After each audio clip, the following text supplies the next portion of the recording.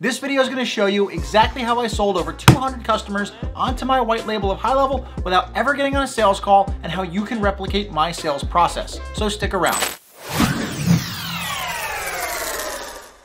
Now, to kind of catch you up, I started using High Level as a user in early 2022, but I really didn't get around to selling it in early 2023, partly because I really didn't understand what I was actually selling. You see, I came from the affiliate world and where you basically just create content about a big company and uh, take all the, the traffic that's generated by that content and just point it over to the company and that's it. Now, I thought when I was gonna be selling high level, I thought I was gonna be doing more of the same. Turns out I was wrong. And this is a common mistake that I see a lot of beginners make. A lot of people think that when they go ahead and they're gonna put their own name onto high level, they think that they're gonna be competing with high level itself and uh, they're not really sure where they come in. In fact, what you're really doing is you're actually taking high level, paying them a wholesale price, and then you're turning around with your own brand, your own label, your own offer, and you're selling that to your end retail customers. You are your own company with your own offers and your own customer service. And now I want you to take a moment and just internalize that. You are the owner of a software company now. You are the captain now. How it works is that you, the software company, you go and you pay high level $500 a month for the rights to relabel and resell the software at whatever price point that you choose. Essentially what you're doing is you're buying high level at a wholesale price at $500 a month. Then what you're going to do is again, after you put your own brand and you put your own spin on it, you're gonna go find retail customers and they're gonna pay you a minimum of $97 a month. Your customers and the people that you're selling to do not have any direct interaction with high level. Everything is gonna go through you. They pay you directly and they come to you for customer service and tech support. And because of this, you're free to sell your software however you'd like. And I see a lot of beginners though make these common mistakes. They'll just start cold calling random small businesses. They'll use email scrapers to scrape emails and then spam them with a bunch of cold email.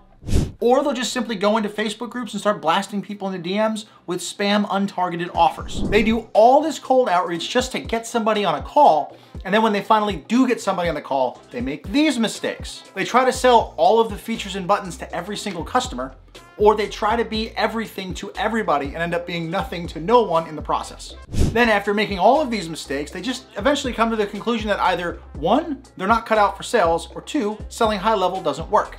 And neither of those are true. You see, the results of not being able to sell someone are just symptoms of a much larger problem. And the problems are that they don't know how to create a proper offer, they don't know how to generate inbound leads, and they don't know how to sell one to many. All it takes is one offer, one piece of content, and one sales presentation, and you can sell as many customers as you want. Let's go to the whiteboard and break it down. All right, so when it comes to talking about our offer, there's a couple things that we wanna do that are gonna make our offer stand out and that's gonna make our offer convert. Number one, don't build around a feature, build around a framework. And since we're not selling SMMA, we're not selling agency services, we're selling SaaS, what we wanna do then is we wanna change our focus. And our focus is automation. We wanna take one process that every small business owner experiences, and we wanna take a process and automate it. Now, you're gonna get the biggest impact and the highest conversions if your process, when you ask a business owner if they did it, they're gonna groan, they're gonna roll their eyes, and if you can do that, that's gonna be awesome because it means they're gonna be willing to pay to never have to do that thing again. Quick example, when I was in the car business selling cars, my manager every once in a while would come to me and ask, hey, did you talk to all of your customers that are in the service lane? And for me, being a salesman focused on the showroom, I said, uh, no, I didn't do it, but it was something that I had to do every single day. I'll tell you what, I would be willing to pay 100 or $200 a month to follow up with those people without ever having to do it myself. And there's a lot of business owners that feel the same way about other processes. Here's some examples. We could call back all of our missed calls, asking sold customers for Google reviews, collecting documents from customers and clients, and responding to Google My Business messages. And this is one of just about two dozen processes that happen in the average small business. What I want you to do is I want you to create a framework around one of these processes and automate it. All the other 300 features that High Level has doesn't matter. You wanna focus on one of these core things. And this is because people make buying decisions based on one thing. Think about the last really big purchase that you made. There's probably a lot of criteria that went into your big purchase and you probably had a couple of different options, but the deciding factor as to which one you rather went with, there was only one thing that made that decision. So you should make all of your selling about that one thing that's gonna make someone tip a decision over to you. So what we're gonna do is we're gonna make our entire sales presentation, our entire sales process around that one thing that's gonna make them tip their decision, and then we can show them all the 34 other things they get later after they've given us money. It's kind of like a reward.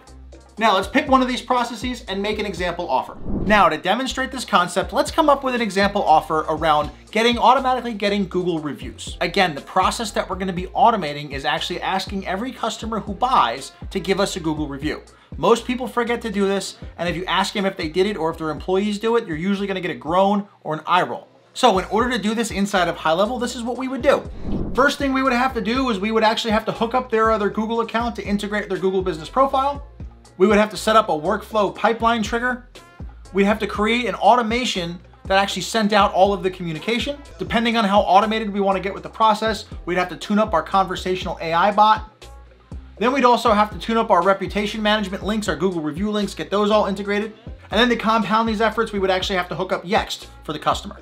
Now, as you can see, we just went through about six features on a high level, and what most people would do is they would explain those six features in a big complex presentation, and then go, oh, by the way, here's 30 other things that the software can do, and at the end of that presentation, when they ask for the sale, and they're gonna wonder why those people need to think about it or why they can't get people to buy it $197 a month. And that's exactly why we're selling the automated process and not the features of the software. Let me use a skit to show you how I would sell this. Now, Mr. Customer, do you remember to ask every single customer for a Google review? Of course not. No, I don't. Well, why not? Don't you know that maxing out your Google reviews is gonna get you more leads from Google and more people are gonna see all the great work that you're doing? I know, I know, but look, half my people can't remember to ask for a review, and what if I get a bad review? That's just gonna set me back. So what you're telling me is that if I could automatically ask every single one of your customers about their experience, only send Google review requests to the people who had a good experience, and then take all of those reviews, automatically post them to Google, post them to your website and all around the internet, you would pay $197 a month to never think about it again? Now, what did I do there? First thing I did was I started by asking a no question. What does that mean? That's a question where I know the person that I'm asking is going to respond with no. Because a lot of people, when talking to a salesperson or a representative from a company, are very comfortable saying no. So I ask them a question where no works to my advantage. Now I confirm the scale of the problem because I expose the new fear that they have. So they were worried about someone giving them a bad review. So I actually confirmed that I understood and I heard that. And then after that, I offered an emotional solution if I could automate all the things that you wished your employees were doing, would you pay X to never have to think about it again? Now, I went to the emotional solution and the emotion of never having to think about Google reviews again, because that's what the person I'm talking to, they can immediately start to internalize what that feels like. They might not be able to visualize what an extra $10,000 a month in their business looks like, but they can certainly understand what it's gonna feel like when they don't have to think about Google reviews again.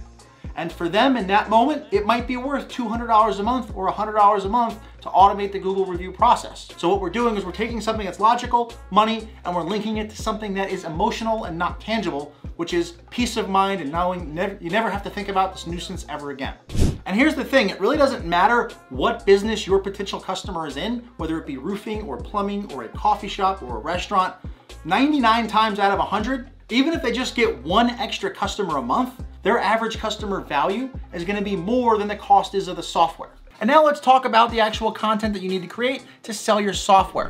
And first off, it's 2024. We create video content now, so either get used to making it yourself or be prepared to pay somebody or hire somebody to actually create it for you. It's really easy to start making short form stuff like TikTok and Reels, and just know that your first couple are not gonna be that good. I was awful when I first started TikTok. Here's day one. Uh, first, I have to get set up with a couple of tools because you can't just do this business without any kind of software. And the secret to getting better is just to keep doing it. You'll learn from your mistakes, you'll get better, you'll realize different things. It's gonna take a little while. It's gonna take you probably 30 to 50 short videos to actually make a good one. And while I can do an entire series on content strategy, this video is gonna focus on that one piece of content that's gonna drive the bulk of your leads. And this single reel made by one of my business partners brought in over 3,000 leads for free. Let's talk about what makes that possible. Number one, you wanna start off your content figuratively punch them in the face with a problem that they are facing. And you also wanna make it super niche to the fact where the person watching the video goes, oh my God, they're talking about me. Now it's important that you make this piece of content feel native to the, uh, to the platform and you don't want it to feel like an ad. After that, what you wanna do is you wanna remind them of the severity and the size of the problem that you're punching them in the face with. And then you wanna close by explaining the solution and then giving them a call to action as to where they can learn more about the solution. And after they do that, you now have a warm lead that's gonna hear your pitch. Hey, did you ask that person to give us a Google review? I forgot.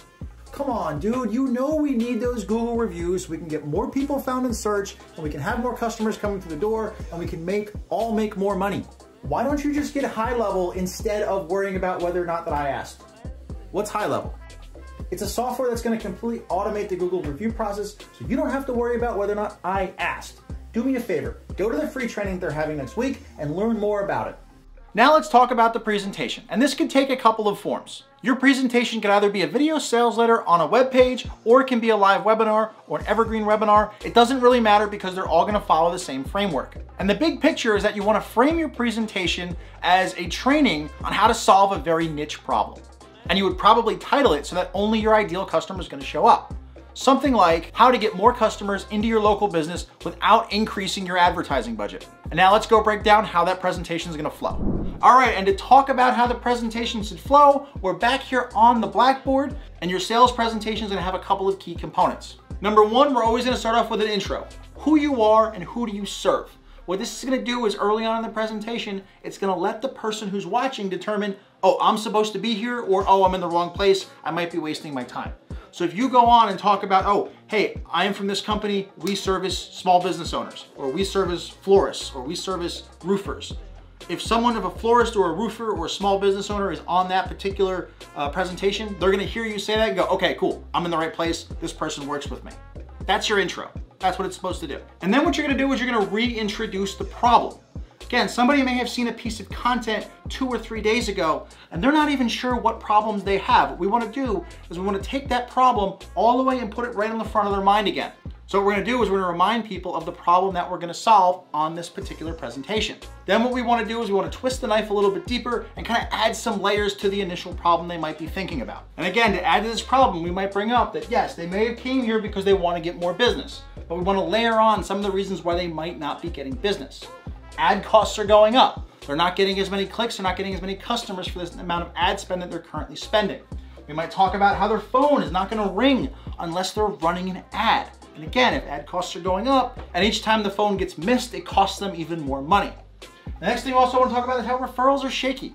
A lot of small businesses are built on word of mouth referrals, and we know that those are not reliable, they're not consistent, it ebbs, it flows, and if we could show somebody a process to kind of smooth out the amount of business that comes in the door, they're willing to pay for that. So then once we've outlined this problem, once we've started showing them a problem, now we want to outline what the solution looks like. And our solution might look something like this. If we get more Google reviews, we're actually gonna rise in search. And when we rise in search, we're actually gonna get more free calls to the business or, for, or more leads through our lead form. And what that's gonna turn into is that's gonna turn into sales and money that didn't cost us any money to obtain.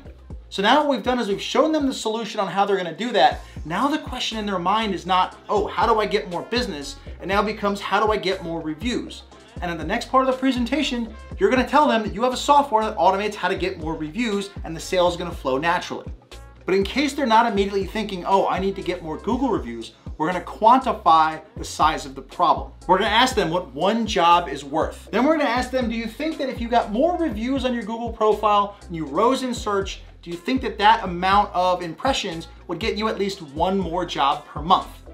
And 90% of people are gonna say yes. And if they had answered what one job was worth and it was a thousand bucks, when you offer them a $100 a month software to try to get more reviews, they're already doing a 10x to one return and it's a no-brainer to offer.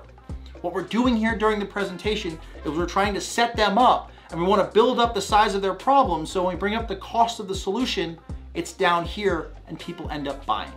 Now, if you want to take this one step further, you want to go really niche and go after like roofers in Minneapolis, what you might want to do is look up what the average roofing job in Minneapolis is. And if you got a bunch of Minneapolis roofers on there, they know what one job is worth to them and so do you. So what you could do is you can make a slide here that goes, is one job, is it safe to say that one job is worth,